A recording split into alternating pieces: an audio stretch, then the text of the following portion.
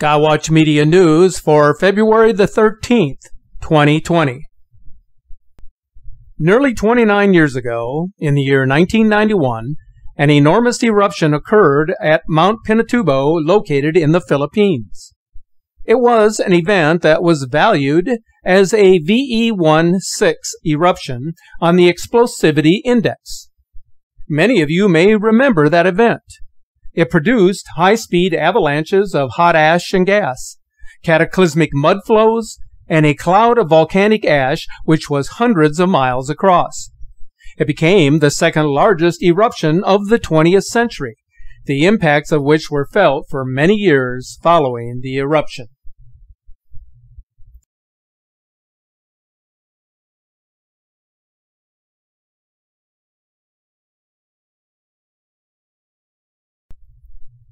According to the latest data assessments, there is a 95% probability of a powerful eruption of 5 or greater on the volcanic explosivity index within the next 5 years.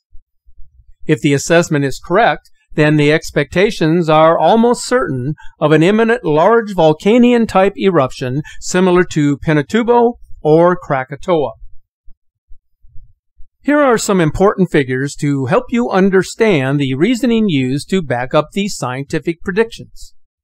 Back in the 19th century, eruptions of 5 or greater occurred on average every 11 years, with the eruption of Tambora in 1815 being the greatest. Then, in the 20th century, this list is showing an eruption of 5 or greater occurred at intervals from 1 to 23 years the average being just over seven years. The eruptions of 1912 and 1991 were classified as VEI 6 in strength. So what this data is inferring is that we are overdue for the next super eruption because we have already surpassed the average span between eruptions over the past 200 plus years. The present span now sitting at nearly 29 years dating back to the VEI 6 eruption of Mount Pinatubo in June of the year 1991. If we consider what has taken place so far in the 21st century, the 2010 eruption in Iceland reached 4 on the explosivity index, followed by a VEI 4 eruption in Chile in the year 2011. This was followed by an eruption of Mount Etna in 2012 that was rated as a 3 on the index. Therefore, the last VEI 5 to occur was Pinatubo in the year 1991. So a value 5 eruption is very much overdue. So what are the impacts and the consequences of a VEI 5 or greater eruption similar to the one which occurred at Pinatubo in the Philippines? The short-term consequences are primarily a result of the population of an affected area and the time required for evacuation. In today's world, populations are much higher, but the warnings come much quicker, as does the mechanisms for evacuation. At the beginning of this century, the numbers of people at risk from volcanoes was estimated to be in excess of 500 million and the numbers have only increased since that time. The long-term impacts involves the location of the eruption. A massive eruption could trigger a year or two without a summer. It happened in our past, and it could certainly happen again. What could determine whether such an event would repeat itself involves the extent of the ash, the altitude of the plume, and how long it persists. The magnitude of the eruption would be the driving factor that could have the potential to catapult the Earth into another mini ice age. The key to survival would entail the ways and the means to reduce the disaster risk and increase the resilience to volcanic catastrophes. The good news, if we wish to call it that, is that some of the more destructive eruptions in the past 2,000 years, with a few exceptions, had a VEI value lower than 6, a value which is considered as bordering on catastrophic. Vesuvius is among those volcanoes that are grouped into this category. Its eruption in 79 AD is listed as 5 on the VEI index, having destroyed both Pompeii and Herculaneum. Among the largest explosive eruptions since the year 1500, there have been 20 listed as VEI 5 or more, with only the Tambora eruption of 1815 reaching a value of 7 on the index.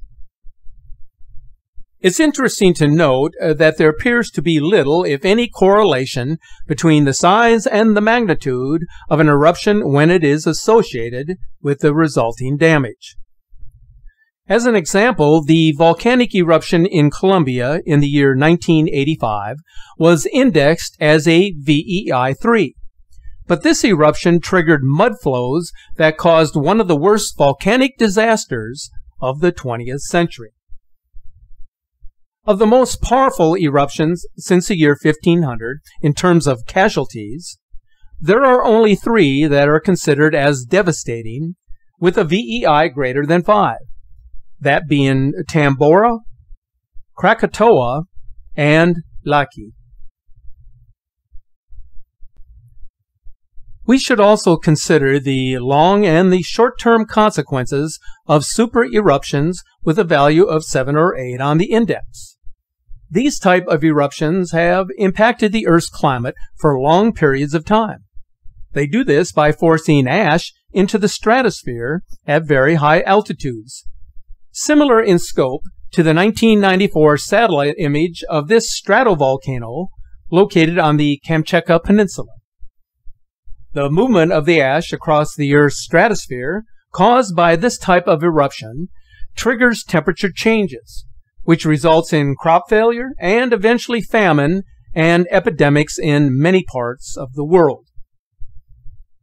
When Tambora erupted in the year 1815, it produced 19 cubic miles of ejecta into the atmosphere, resulting in a year without a summer. After generating abnormally low temperatures across China, Europe, and North America. At this moment in time, we are witnessing significant changes taking place as the Earth moves into a period of instability. What we can all know and understand is that volcanic eruptions are extremely dangerous and they are highly unpredictable. There can be no way of preventing them from inflicting serious damage to our planet. This is why the scientific community has indicated that within the next five years, the likelihood of a VEI 5 or greater eruption is close to, if not more, than a 95% certainty. The short-term effects can be minimized with proper preparedness, but the long-term global effects may be something that we will have to endure for many years. Volcanic activity has been increasing exponentially since the early 20th century, and it has increased dramatically in the last 30 years. Volcanic eruptions are now becoming more intense and more frequent, and therefore more unpredictable. The chances of a volcanian type occurrence similar to Vesuvius or Mount St. Helens in any given year outpaces the other natural disasters known to man.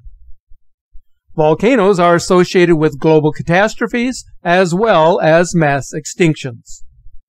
Their ability to create chaos is unlimited. One of the most active volcanoes in the world, and one that is closely monitored, is Indonesia's Mount Merapi, which rises 9,550 feet above sea level. In the early morning hours of February the 13th, the restless volcano erupted, spewing volcanic material for more than a half a mile radius, while ash rained down on villages located more than six miles south of the volcano.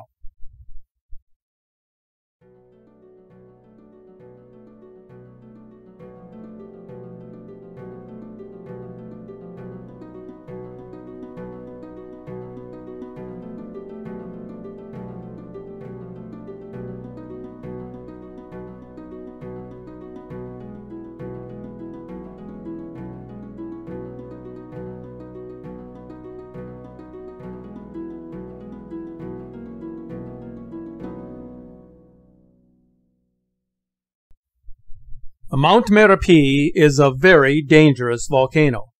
It erupted four times within a three month span in the fall of 2019. Those eruptions were followed by a deep volcanic earthquake. The country of Indonesia was struck with more than 11,550 volcanic earthquakes in the year 2018, resulting in the loss of many lives while leaving many others homeless. Eruptions similar to Merapi are happening all across the planet, and for those who live in its path, it is imperative to keep a watchful eye and to be vigilant. For the unpredictability of these mighty forces of nature will continue. As you look towards the heavens, know that the earth and everything around it is connected. The sky, the moon, and all that exists above us are seen as a mystery. Thanks for watching.